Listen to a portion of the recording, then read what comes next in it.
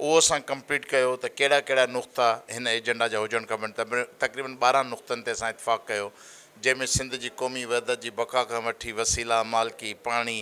धारी आबादकारी सिंधी ॿोली क़ौमी ॿोली समूरा इशा तइलीम सिहत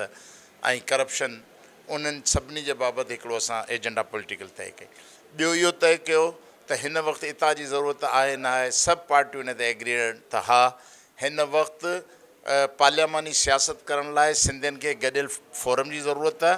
पर रुगो इलेक्शन जे लाइ न पर मजमूई सिंध जा जेके सियासी क़ौमी इशू आहिनि इन लाइ हिकिड़ो मुतबादिल पॉलिटिकल अवामी फोर्स खपे इन ते असां एग्री कयो टियों इहो त असां नाले ते एग्री करे वरितो त उन इताद जो नालो कहिड़ो हूंदो चोथों इहो तय करे वरितोसीं त हाणे इताद जो ईअं न हूंदो त हर जमायत ते पंहिंजे अलहदा झंडे सां ईंदी पर इताद जो गॾियल झंडो उहो तय थी वियो त गॾियलु झंडो हूंदो जेको असां ईंदड़ु और प्रोग्राम में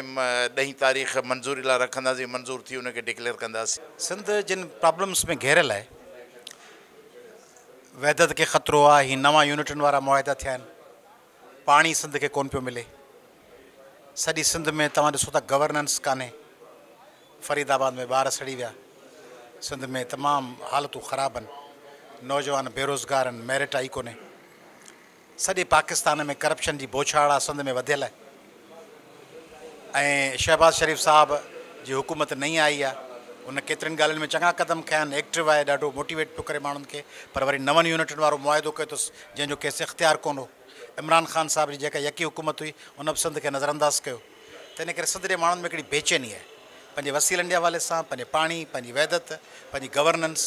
पंहिंजे मालिकी पंहिंजे टैक्सिस ते पंहिंजे सामूंडी पटीअ ते पंहिंजे रिसोर्सिस ते कोयले पेट्रोल गैस से उनखे एड्रेस करण लाइ लाइक माइंडेड दोस्तनि इजलास थियो पार्टीज़ जो छहनि पार्टीज़ जो